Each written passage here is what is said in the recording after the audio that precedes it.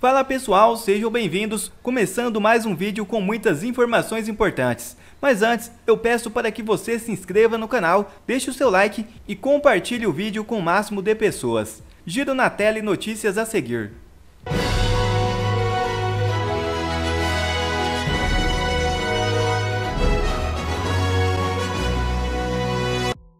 Advogado do PT com acesso ao STF diz que mais 18 deputados serão punidos por Moraes. Se há alguma dúvida que nós estamos testemunhando uma caça ilegal, autoritária contra a oposição política nesse país por meio do judiciário, se ainda há alguma dúvida, ela vai deixar de existir agora. Nós estamos falando de inquéritos que nem mesmo aquelas pessoas que estão sendo presas, investigadas, nem os advogados têm acesso aos autos. Então nós estamos vendo aí dezenas, centenas de pessoas sendo perseguidas, recebendo busca e apreensão, como foi o caso do Carlos Jordi hoje, sem que os advogados dos próprios investigados tenham acesso ao que está sendo acusado para poderem se defender. Isso é algo inédito, só existe em ditadura. Mas o que é curioso, isso é alarmante, é que um notório famoso advogado aliado ao PT que tem inclusive a autoridade para entrar no STF de Bermuda, que é o Cacai. Todos já conhecem esse cidadão, um ávido defensor do PT, advogado do PT, esquerdista declarado, que tem a autoridade de entrar na Suprema Corte de Bermudas. Dando uma live recentemente, ele meio que deixou escapulir que ele tem acesso ao inquérito que nem os advogados dos investigados têm. Isso é extremamente grave. Dá uma olhada nesse trecho. É, os financiadores. Eu não quero saber. É importante pegar os financiadores que fizeram a prática que permitiu estar aqui 1.500 pessoas, é claro que é importante. Mas olha, as informações que eu tenho de quem conhece profundamente o inquérito. É... Pera aí. Informações que eu tenho de quem conhece profundamente o inquérito. Ninguém conhece profundamente o inquérito, a não ser o próprio STF, a não ser o próprio Alexandre de Moraes, porque nem os advogados têm acesso, ainda mais acesso à lista dos investigados. Tem, por exemplo, 18 políticos com mandatos que estão para ser logo, logo responsabilizados, pelo menos. Peraí, vamos ouvir de novo e olha a gravidade disso aqui. Mas olha, as informações que eu tenho de quem conhece profundamente o inquérito é que tem, por exemplo, 18 políticos com mandatos que estão para ser logo, logo responsabilizados, pelo menos ter denúncia, operações contra eles. Tem que ser feito, tem um ano. Denúncia, operações contra eles. Ele sabe exatamente o número: 18 parlamentares. Então nós estamos vendo aí que 18 deputados federais, provavelmente, isso é uma informação privilegiada que ele tem, que ninguém sabe como, não poderia ter. 18 deputados federais, parlamentares, receberão busca e apreensão como ele sabe disso? Se nem o Jordi, que recebeu a Polícia Federal na casa dele hoje, tem acesso ao que está acontecendo, a não ser algumas partes da imprensa, né? Mas a maioria das pessoas não tem acesso. Tem pessoas presas há meses sem ter acesso aos autos, ao saber por que, que ela está presa, qual é a acusação contra ela. Mas esse cidadão, o advogado do PT, tem. Será que ele teve acesso ou ele ajudou a elaborar a narrativa para destruir a oposição política no Brasil? Gente, pelo amor de Deus, você pode ser um jornalista maconheiro aí, que trabalha na Globo. O que vocês estão fazendo é a construção de um Estado totalitário que não vai poder garantir nem mesmo o direito de vocês futuramente, quando esse Estado for para cima de cada um. Quando esse dinossauro, esse dragão, esse monstro que vocês estão ajudando a, a, a construir, quando ele se voltar contra vocês, vocês estão acabando com a própria prerrogativa de se defender. Vocês não estão entendendo, gente. Nós estamos tendo prisões sem acesso à acusação prisões preventivas de 10 meses, um ano. Advogados que estão sendo humilhados, mas o advogado do PT, o que vai de bermuda no STF, sabe quem que está sendo investigado? Para por um momento e pensa, isso não é normal. Isso é, é, é, é uma aberração jurídica inédita do Brasil. Aí a gente tem que ver o jornalismo passando pano para isso. Daqui a pouco a Miriam Leitão, olha, as pessoas estão sendo presas sem ter acesso à defesa e sem ter acesso à, à, à, acusação por um ano, mas saiba porque isso é bom. Pelo amor de Deus! Como que esse cidadão tem acesso a essa informação e nem que está sendo investigado tem? Nem advogado tem.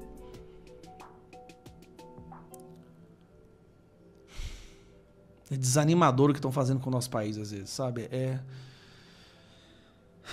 É desanimador, cara, ver o que está acontecendo e, e pessoas esclarecidas, e pessoas assim instruídas passando pano para isso, aprovando isso, porque esse ataque nesse momento está indo contra seus adversários políticos. Nós estamos vendo uma caça à direita. Se prepare, esse ano vai ser terrível. Aparentemente vai ser pior que o ano passado. E aqui no chat, Serrão, o pessoal já batizou a operação de Operação Perseguição Política. Carlos Jordi, mais um alvo da APF, como a gente colocou no nosso título, APF de Lula e Dino. Serrão, boa tarde. Saudações, meus amigos, meus amados haters, saudações, meu povo da Gazeta do Povo.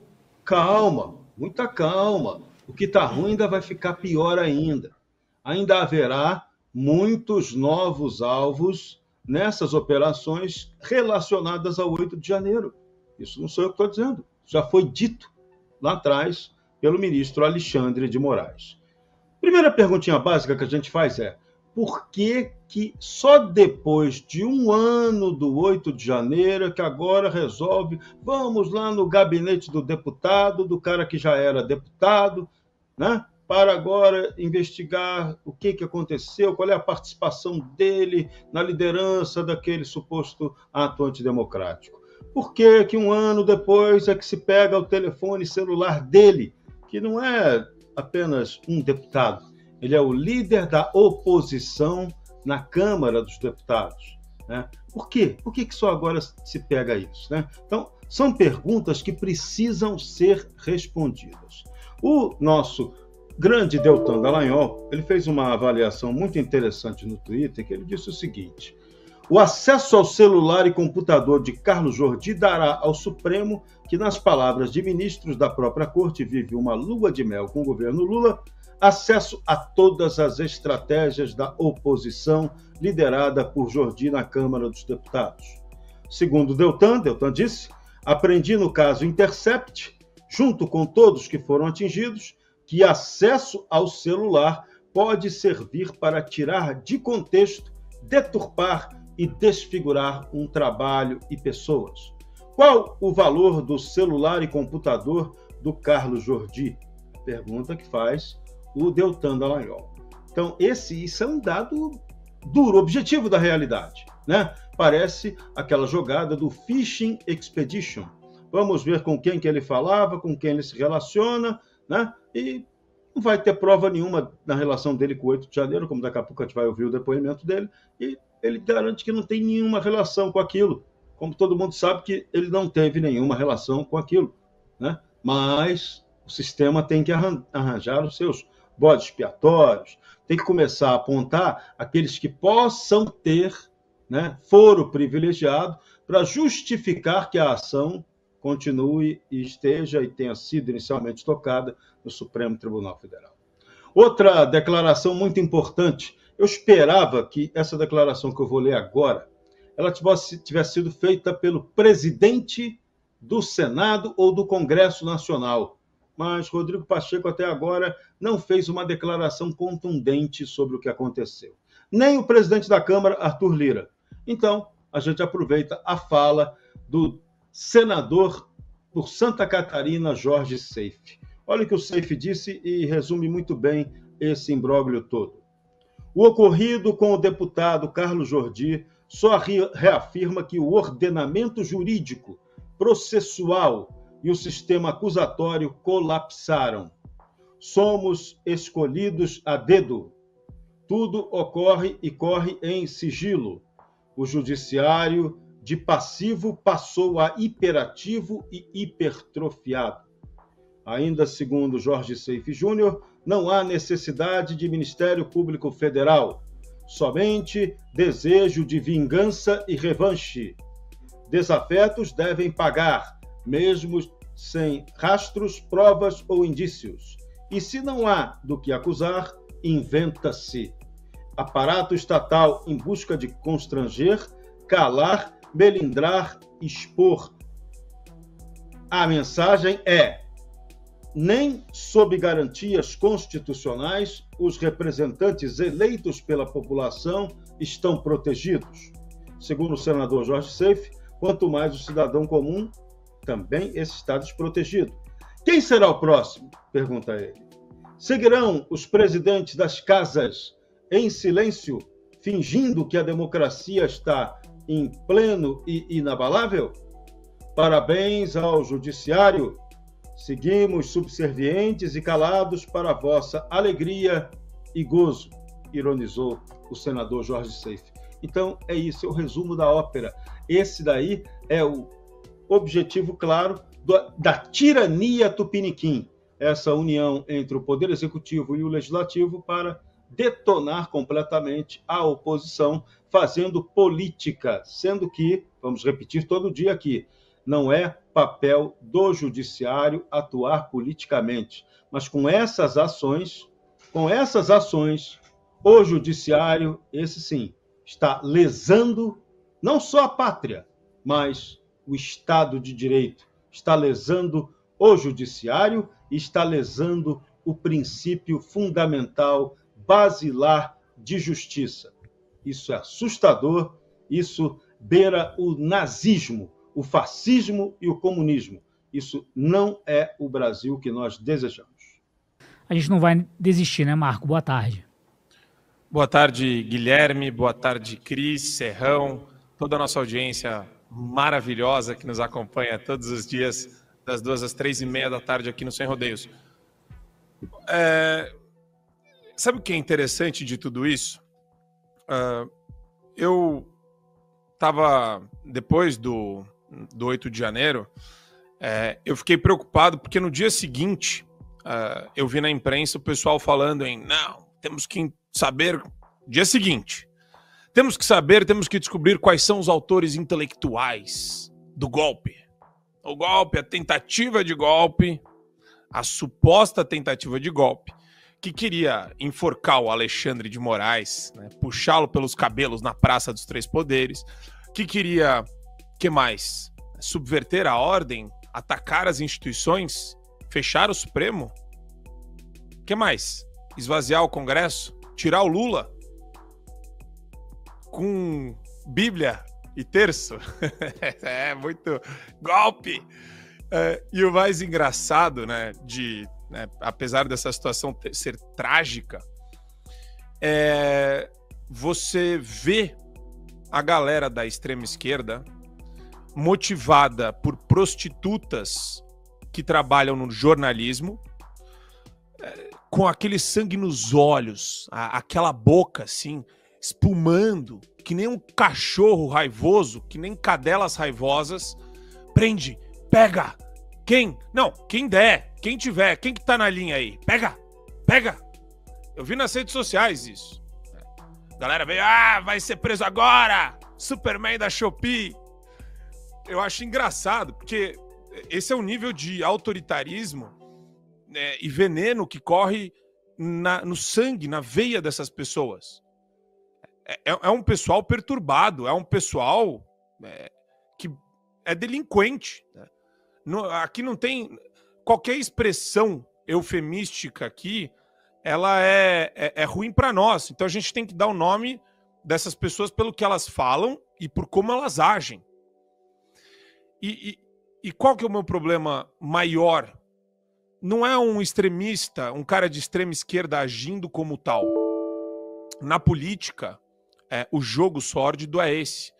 O meu problema são as prostitutas do jornalismo. Eu estava ouvindo, falando em prostitutas do jornalismo, é, por acaso, assim, não que tenha uma relação direta, o Reinaldo Azevedo agora, falando do Carlos Jordi. E é impressionante uh, o nível de cinismo desse pessoal se distanciando, como se as instituições elas estivessem funcionando regularmente. Ele fala que o Carlos Jordi queria uma ditadura. Ele fala que o Bolsonaro queria uma ditadura. E é óbvio, né? A ação agora foi sobre o Carlos Jordi, mas o Bolsonaro tem um triplex na cabeça de todas as prostitutas do jornalismo. Tudo tem a ver com o bolsonarismo. Aliás, eu tenho, tô esperando o dia passar para pegar todas as manchetes. Líder da oposição, deputado bolsonarista, e nem citar o nome dele. Né?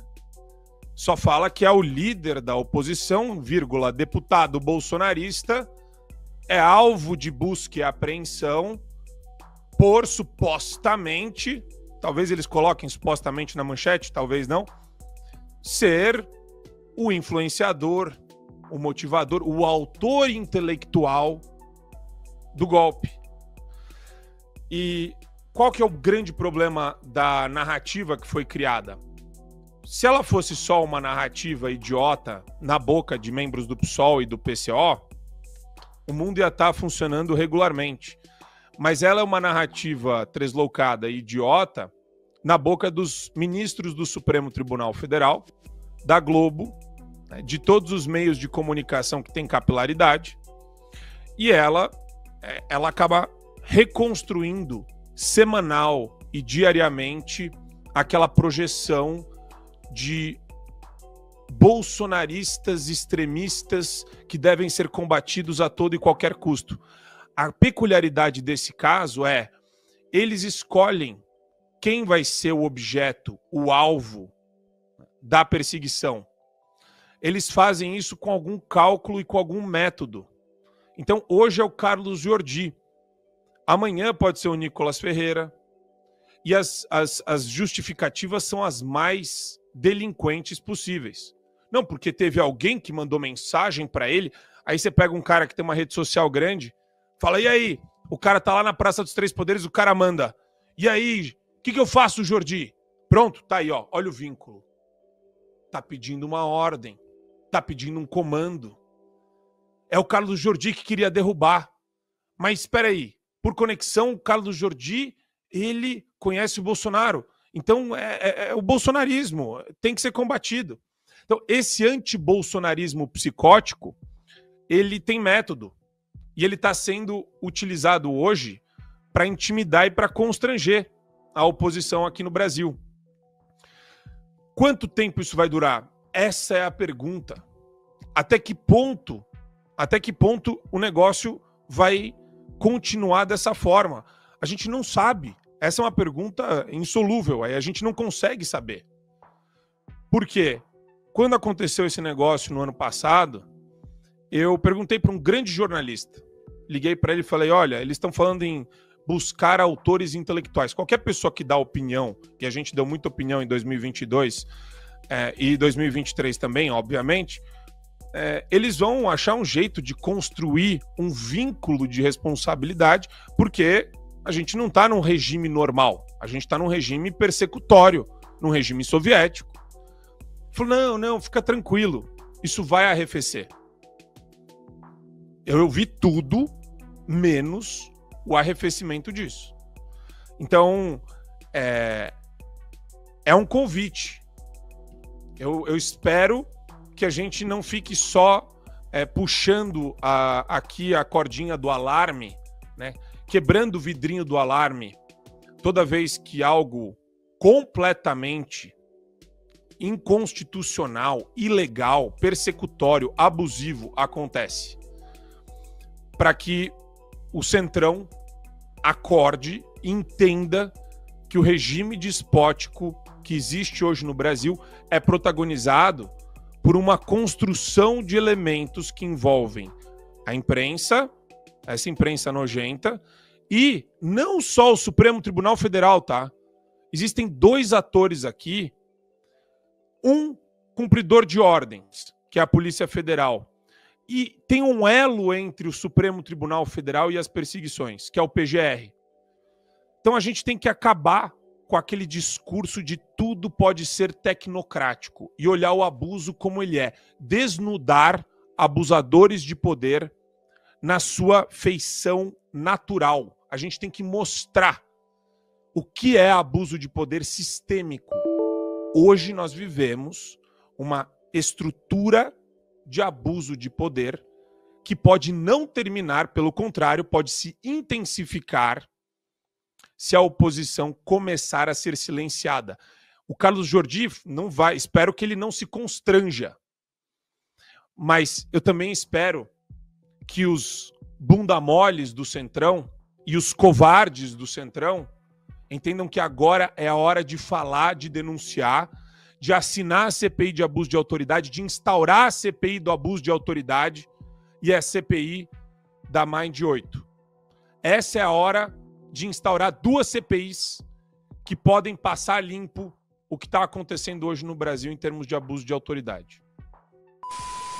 Moraes descarta política de apaziguamento ao autorizar a operação da PF contra Carlos Jordi. O ministro do Supremo Tribunal Federal, Alexandre de Moraes, autorizou uma operação da Polícia Federal contra o deputado Carlos Jordi, fazendo referência ao ex-primeiro-ministro britânico, Winston Churchill. Esta operação, realizada na quinta-feira 18, investiga o envolvimento de Jordi nos protestos de 8 de janeiro.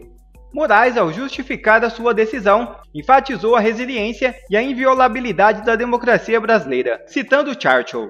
A democracia brasileira não será abalada, muito menos destruída por criminosos terroristas. Ele reforçou a importância da proteção da democracia e as instituições, recorrendo a uma citação de Churchill sobre a facilidade de destruir em comparação com a dificuldade de construir. Além disso, o ministro fez uma comparação histórica mencionando o primeiro-ministro Neville Chamberlain e Adolf Hitler, para ilustrar a falha da política de apaziguamento e enfatizar que a democracia brasileira não tolerará tal abordagem. Moraes concluiu assegurando que todos os envolvidos nos atos contra a democracia serão responsabilizados em todos os níveis, criticando duramente aqueles que agem contra os princípios democráticos por motivos variados como ideologia, dinheiro, fraqueza, covardia, ignorância, má fé ou mau cadatismo. Meu Deus, parece surreal. Que Deus tenha misericórdia do nosso Brasil. Já outra notícia na tela. OTAN convoca quase 100 mil soldados para maior exercício militar desde a Guerra Fria. É isso mesmo. Aliança Militar do Ocidente convoca 90 mil soldados de países membros e da Suécia para o primeiro exercício militar de 2024. Manobras trabalharão com o cenário de ataque russo. A Organização do Tratado do Atlântico Norte anunciou nesta quinta-feira 18 que vai convocar 90 mil soldados de países membros da Aliança e da Suécia. A convocação é a maior feita pela OTAN desde a Guerra Fria. Os militares participarão de uma série de exercícios conjuntos e trabalharão com o cenário de um ataque russo, segundo o comandante-geral da OTAN na Europa, o general Christopher Cavoli. Os exercícios começarão na semana que vem e durarão até meados de maio, segundo o comandante, e terão a cooperação de soldados da Suécia, país que ainda não faz parte da aliança, mas já solicitou formalmente o ingresso. O comandante afirmou que as manobras não têm uma motivação específica e acontecem como parte de exercícios anuais da aliança.